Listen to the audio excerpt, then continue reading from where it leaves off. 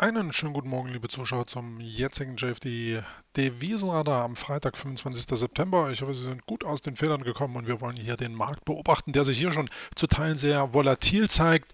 Also hier einige Schwankungen schon wieder stark und extrem, sodass es hier unter Daily-Gesichtspunkten teilweise nichts mehr zu holen gibt. Aber das britische Pfund gegenüber dem US-Dollar hatten wir ja gestern auch schon im Fokus ähm, im Chat auf dem JFD-Desk beziehungsweise als Trading Shoutout im Sinne eines negativen Rainbows. Den schauen wir uns später auch nochmal an, aber Grundsätzlich hat sich das britische Pfund an die Schwächephase gehalten, die wir auch vor zwei Tagen am oder beim JFD Devisenradar besprochen hatten. Nochmal kurz der Chart hier auf Wochenbasis, hier Bullish Engulfing, die andeutende Schwäche. Bereits vor zwei Tagen hat sich hier sichtlich weiter ausgedehnt. Das britische Pfund läuft hier geradewegs auf den Supportbereich ja, um 1,52, 1,51,70 zu.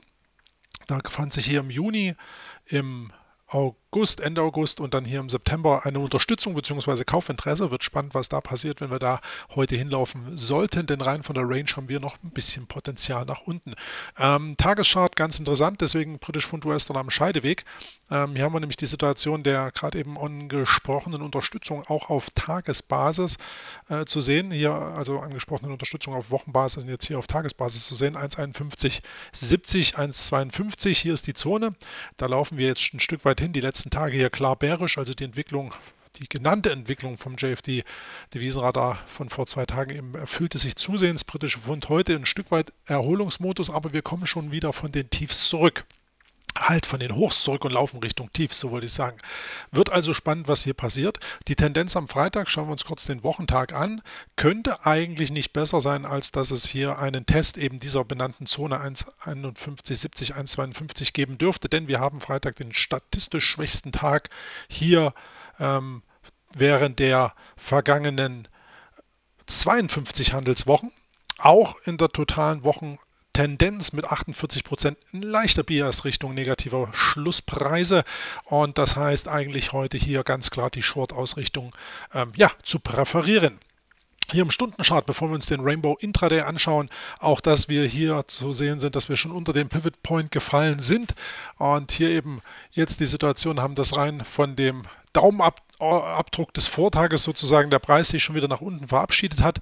Hier das kleine Stehaufmännchen hier in der Vorstunde ist eigentlich schon wieder fast relativiert und es wird eben spannend, was hier im Bereich des gestrigen ähm, Tiefs passiert. Vortagestief ist ein interessantes Level.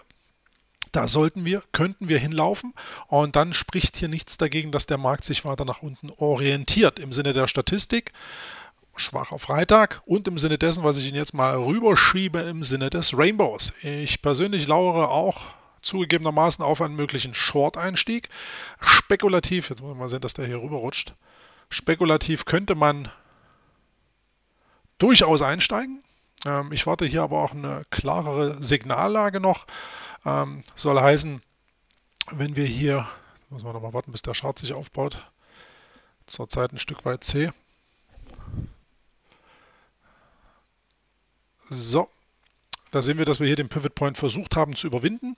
Ähm, die Asia Range als solche ist eigentlich hier auch ja, ausgerissen worden, ausgebrochen worden nach oben, aufgebrochen vielmehr. Und da läuft der Preis jetzt wieder zurück. Das ist genau die interessante Situation, dass praktisch das europäische Kapital es nicht geschafft hat, diesen möglichen Ausbruch hier weiter fortzusetzen. Average True Range hier oben oberhalb des gestrigen Tageshochs, rein technisch über 1,53 wäre es möglich gewesen.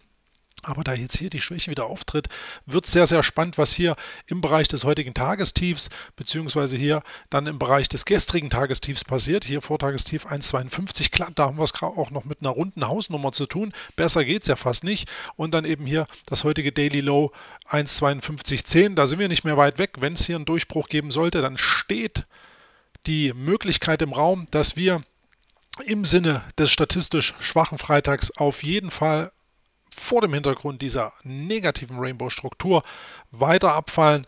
Auch hier den Support-Level Punkt 3 anhand der Fibonacci-Projektion vom Pivot Point ausgehend läuft hier viel darauf hin oder deutet viel darauf hin, dass wir zumindest in Richtung 1,51,52 laufen könnten. Das wäre die Ausnutzung der Average True Range im Schnitt 108 Pips während der letzten 14 Tage. Heute sind bislang 50 Pips gelaufen. Das heißt, wir haben hier noch mehr als das Doppelte an Potenzial. Wenn ein neues Tagestief kommt, dann spricht eigentlich viel dafür, dass wir hier in Richtung 1,51,52 laufen könnten kleiner Spike vielleicht drunter denkbar. Und dann hätten wir im Prinzip auf Tagesbasis die angesprochene Zone hier touchiert, leichter Dip drunter und dann muss ich eben zeigen, wie die Party hier letztlich weitergeht. Also dann wird sich hier definitiv herausstellen, ob der Markt hier durchsackt. Faktisch wäre insbesondere ein Wochenschlusspreis unter hier dem Tief vom 4. September unter 1,5161 höchst negativ.